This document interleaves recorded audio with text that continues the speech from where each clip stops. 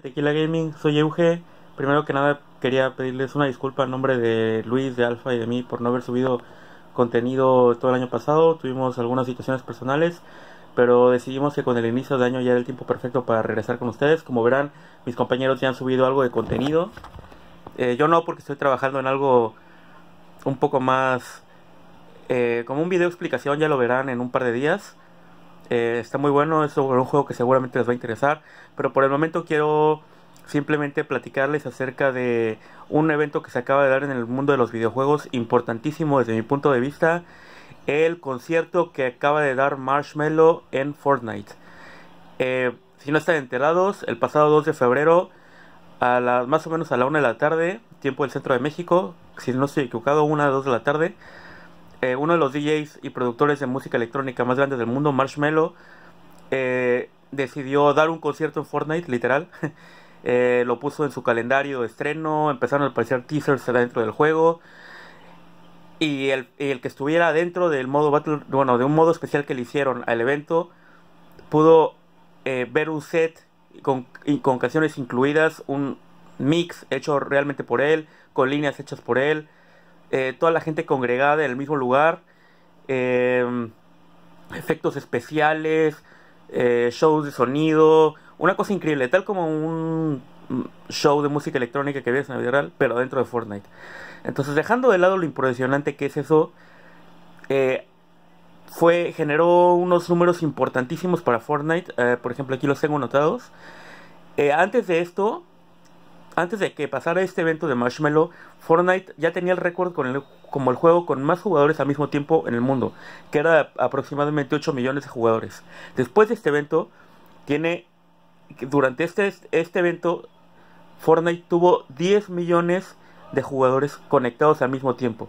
Entonces, no solamente es el evento más grande de la historia de Fortnite, en el que, o sea, 10 millones es como dos veces la población de Uruguay. O sea, es un número, increíble. Eh, tuvo esa cantidad de jugadores al mismo tiempo. Y por lo tanto también es el evento más grande de videojuegos de la historia, si lo quieres ver de ese modo, en cuestión de jugadores conectados al mismo tiempo, ¿no? Entonces quiero hablar un poco de los números que ha generado Fortnite. Tiene más de 200 millones de jugadores, o sea, más de 200 millones han bajado el juego en alguna plataforma de su elección. Eh, con estos 10 millones que consiguió este día, ha roto toda clase de récords. Por ejemplo, PUBG, el otro gran juego de Battle Royale, que es el otro más popular, tiene un récord de 3 millones. League of Legends también de 3 millones. Y Dota de apenas como un millón. Entonces, no hay duda de que Fortnite es probablemente el juego más popular de la historia. Por más terrible que eso suene. ¿Sí? Eh, en este último 2018 Fortnite generó 2.5 mil millones de dólares, o sea, casi 3 mil millones de dólares en ganancias. Obviamente, considerando que el juego es gratis en todo lo que vende de skins y pases de batalla, etcétera. Lo que le generó a Epic 3 mil millones de dólares. Con esto, Fortnite es también el juego que más dinero ha generado en la historia, ¿ok? Eh, te puede gustar o te puede no gustar, pero tienes que aceptar que Fortnite tiene un éxito, un éxito sin precedentes que tal vez solamente es comparable e incluso supera desde mi perspectiva el furor que causó Pokémon Go en 2017 cuando acaba de salir. ¿Ok?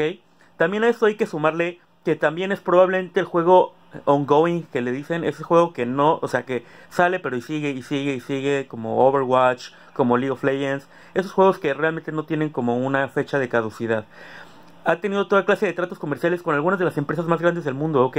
Eh, si recordamos, ha tenido tratos con Avengers, que tuvo su modo de juego con Thanos. Eh, tuvo trato con la NFL porque vendían los vendieron los uniformes de los equipos en la tienda eh, como skins. hace un par de meses salió una salió como un teaser de Ralph el Demoledor. y ahorita probablemente este evento de Marshmallow es quizá el punto en el que podemos ver que realmente los videojuegos pueden em, como fusionarse con nuestra cultura pop. O sea, en ese sentido, Marshmallow mismo en su, en su guía de tour puso, em, o sea, Parque Placentero, que es el lugar donde ocurrió el evento, lo puso como, como una ubicación, o sea, como si fuera muy real. Puso teasers en su, en su Twitter, Eh, les digo, en el juego empezaron a aparecer pues teasers por todos lados, posters, carteles, carteles. Entonces, realmente la línea que diferencia los videojuegos de nuestra vida real ha estado más se empieza a difundir, no, difuminar más que nunca. Y esto realmente lo ha logrado Fortnite. Y por, por último hay que sumarle eso el crossplay. Fortnite no hay que olvidar que es el primer juego con crossplay total en la historia. O sea, eso quiere decir que es el primer juego que se puede jugar entre todas las plataformas en las que está disponible al mismo tiempo. Se puede jugar entre Play, Xbox, Switch, computadora, móviles, todo al mismo tiempo. Si tú quieres formar, puedes formarte un equipo con un jugador de celular, uno de PC, uno de celular, uno de Switch, o uno de Xbox y uno de PC, da igual. Fortnite realmente ha roto toda clase de récords, roto paradigmas. Entonces, si te gusta, qué bueno, si no te gusta, trata de no, no odiarlo y trata de entender por qué, por qué por qué ha logrado todo lo que ha logrado, por qué la comunidad lo quiere tanto, por qué la gente lo juega por tantas horas. Entonces solamente quería decirles, porque me parece, o sea, este evento de Marshmallow, que por cierto estuvo padrísimo, si lo pueden ver, búsquenlo en YouTube, eh, o si no les dejo un enlace aquí abajo cuando pueda. El mismo Marshmallow subió como un video de cómo estuvo el evento. Todo el mundo unido, brincando, bailando, saltando, al ritmo de la música realmente fue algo impresionante, algo que yo nunca en mi vida había visto, algo que une a la comunidad de una manera impresionante.